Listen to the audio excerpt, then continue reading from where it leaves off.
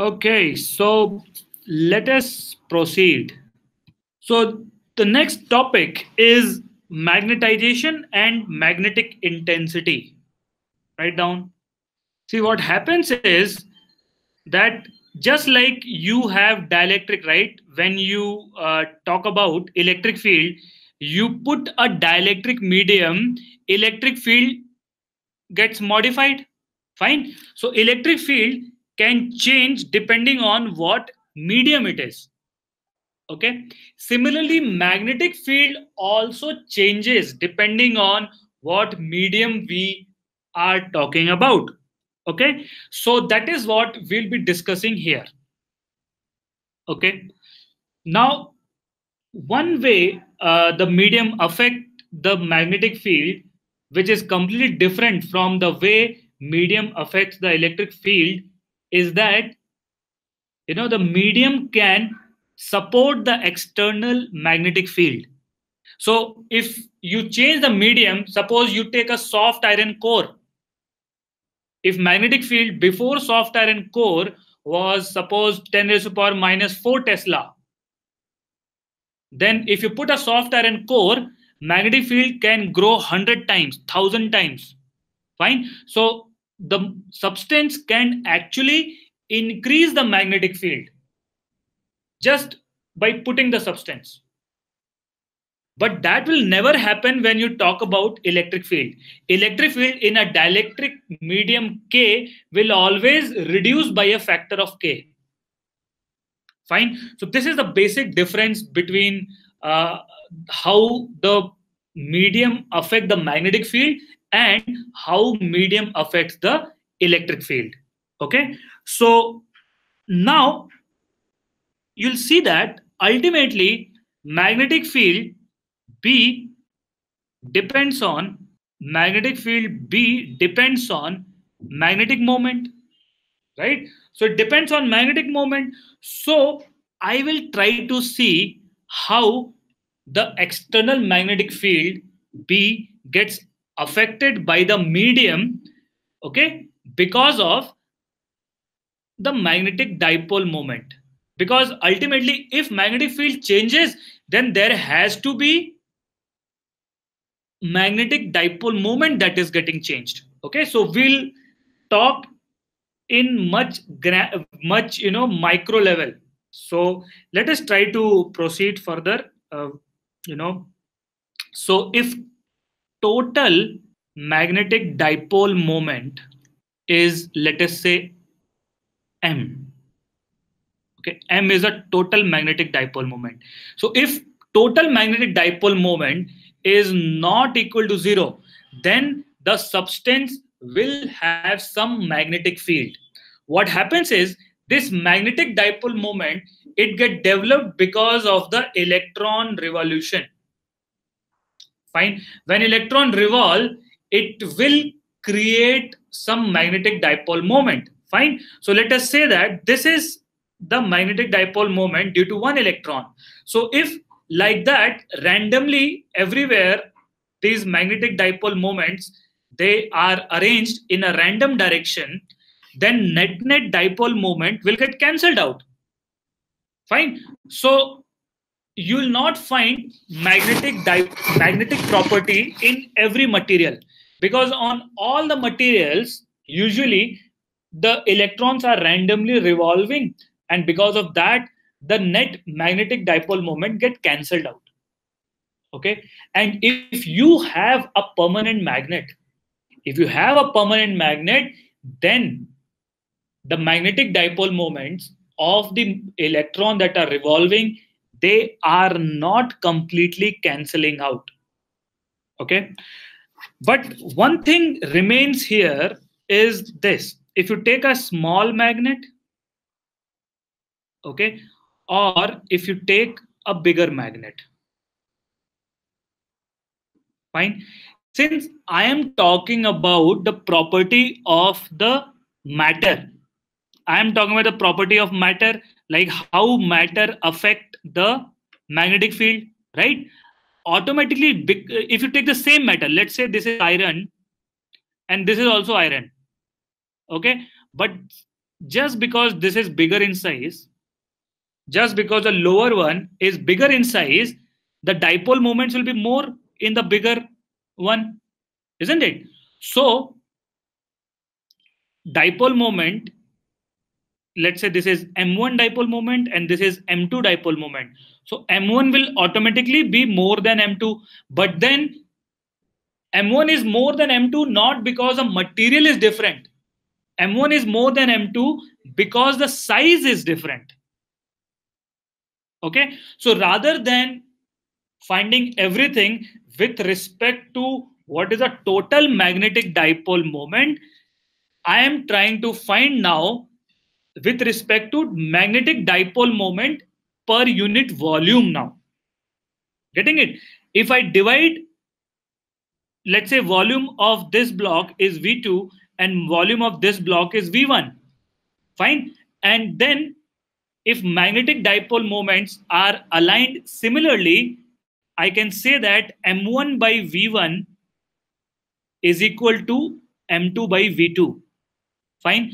So the density of dipole moment, den the density of net dipole moment will depend on what material it is. All of you clear about it? Because this is very critical in this topic. Just type in yes or no.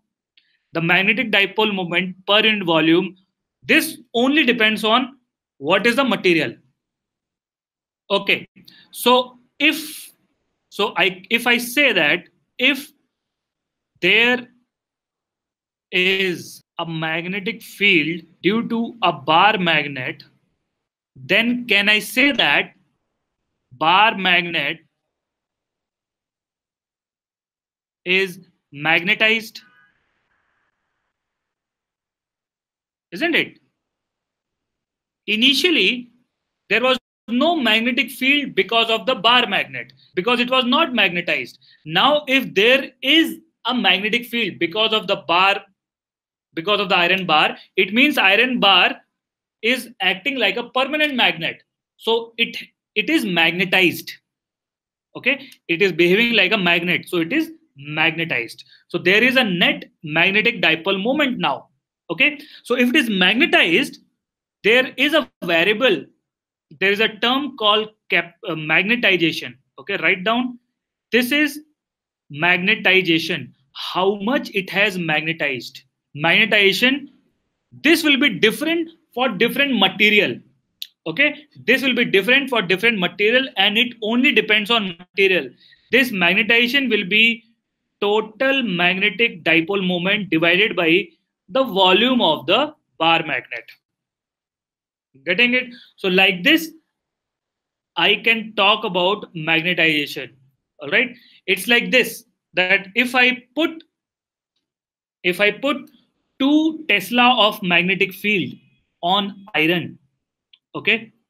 On iron if i put 2 tesla of magnetic field it doesn't matter what is the shape and size of the iron it will get magnetized or it will have the same magnetization if it is iron. So total magnetic moment divided by volume will be same but if i take let us say other material let us say i take steel okay? Steel will get magnetized differently. So magnetization of steel will be different. Total magnetic dipole moment divided by volume for steel will be different than total magnetic dipole moment per unit volume for iron okay?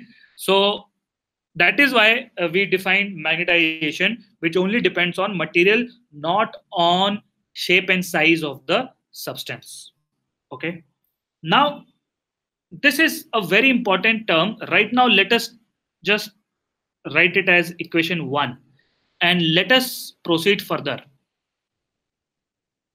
Let us see that, first of all, a very common way to magnetize is what? A common way to magnetize is to put the matter, to put the bar inside the solenoid? Yes or no? So this is a very common way of magnetizing the substance. Okay, so let us try to visualize that particular scenario because it is a very common thing. So you mm-hmm. have a solenoid, draw this solenoid, guys.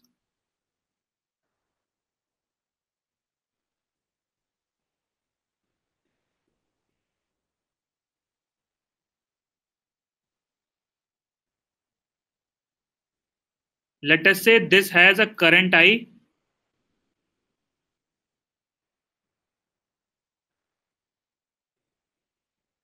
It has a radius of let us say a number of turns per unit uh, length is n and the length of the solenoid let us say is l. Okay? Now first of all tell me what is the total dipole moment of this solenoid? M net is what? For this solenoid m net. Is it equal to number of turn current into area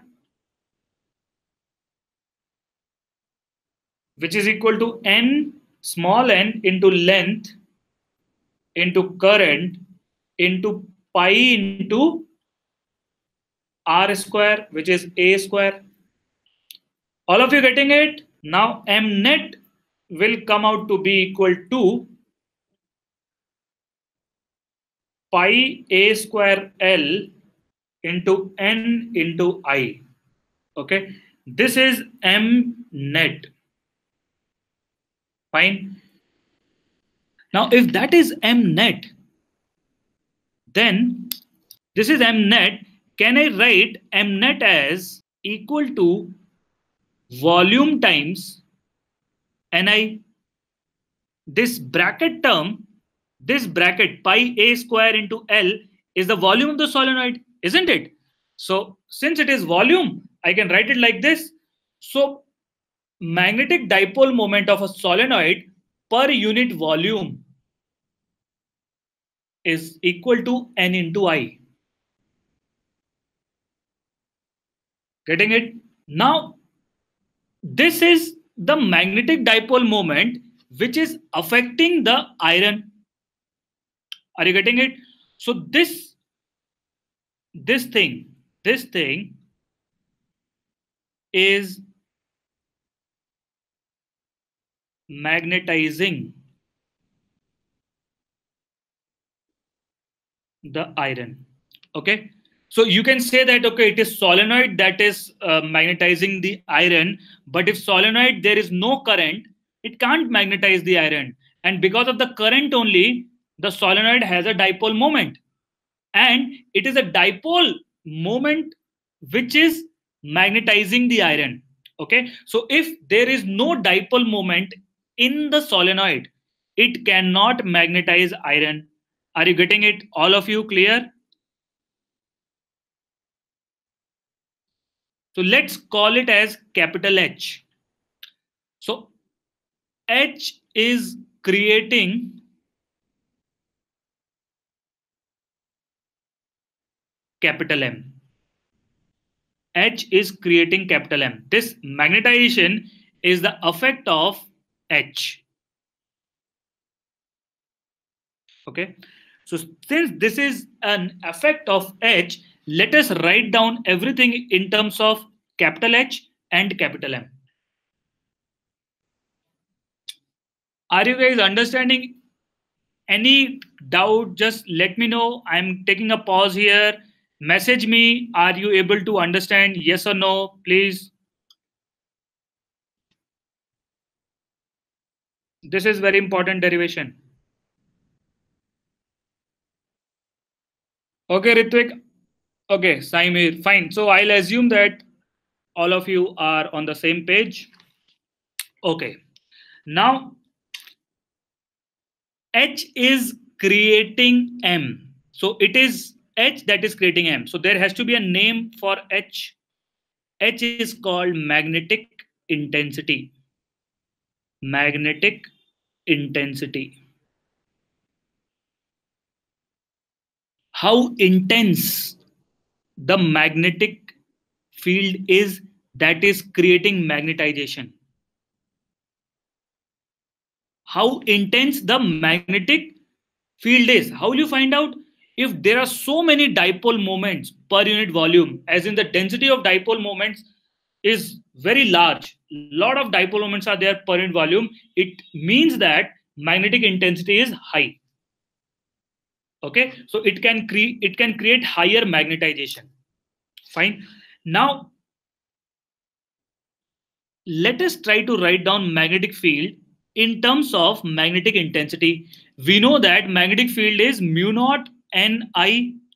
Okay, so this can be written as mu naught h because n into i is h. Getting it?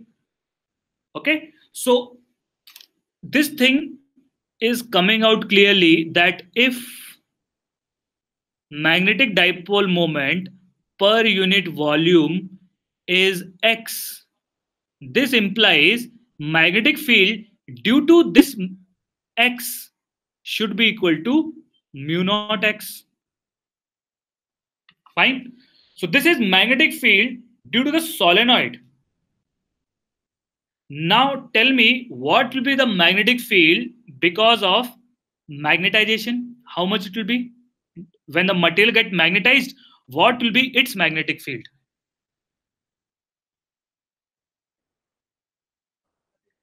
Okay, so Shweta is asking M by V should be magnetization, why it is magnetic intensity.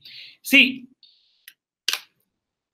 M net by volume is nothing but dipole moment per unit volume. Okay, now if dipole moment per unit volume is getting created if it is getting created because of external field we say that magnetization is happening. Then we say m net by v is magnetization which is m. Okay?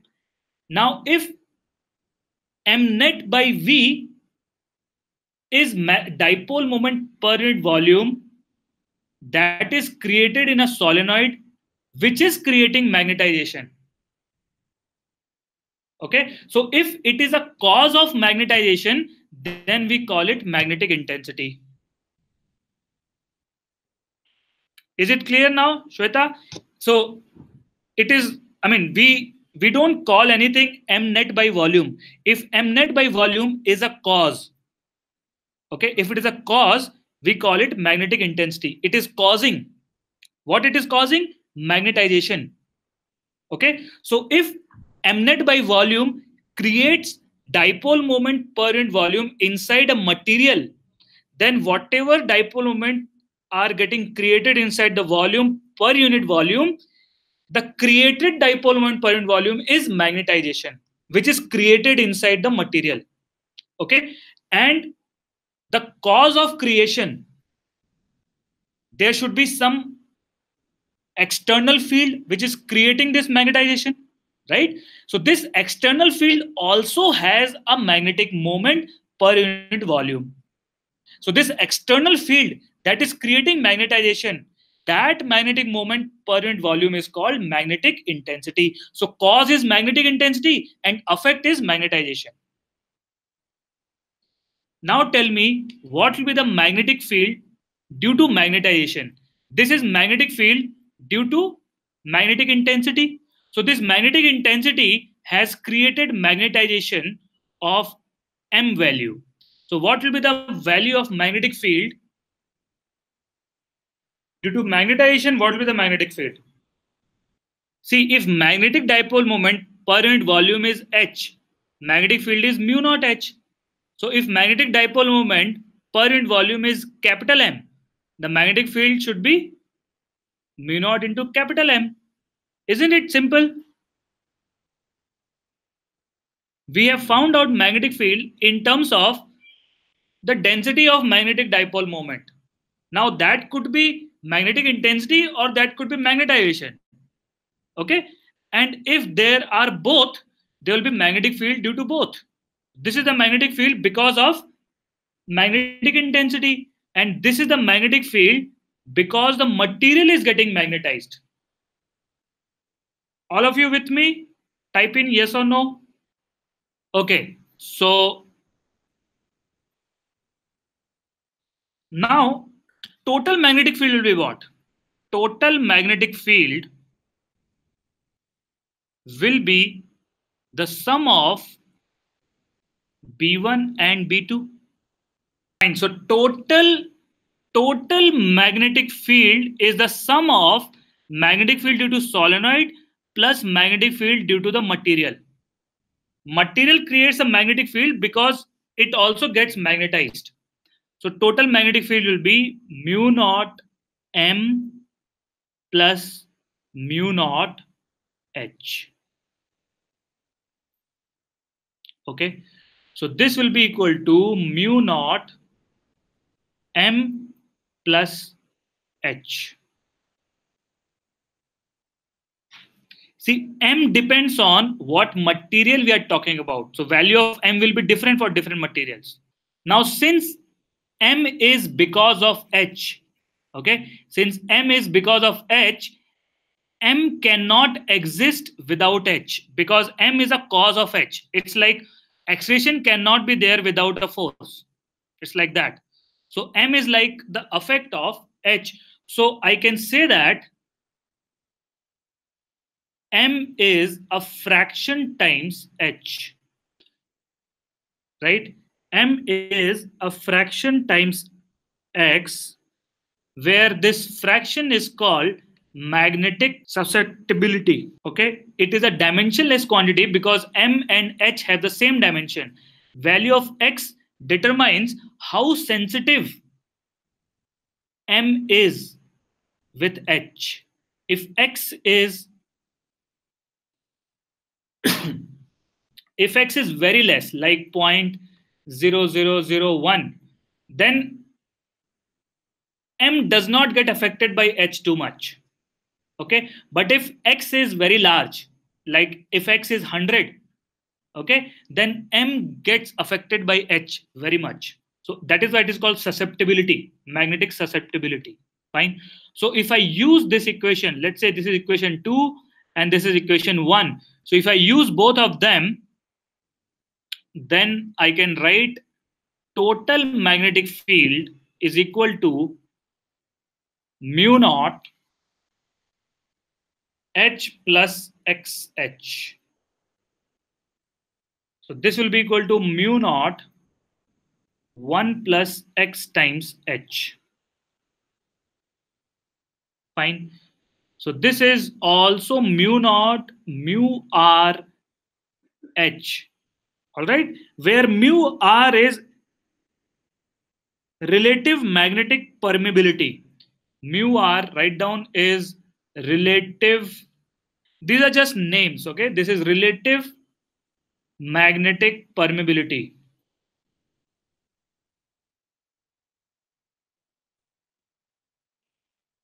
okay you can also write this as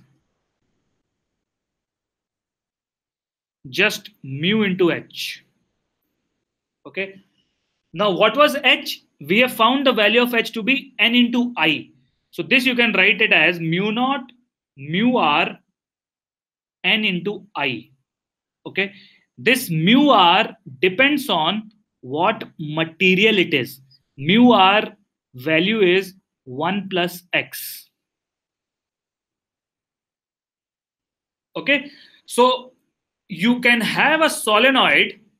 Okay. You can have a solenoid in which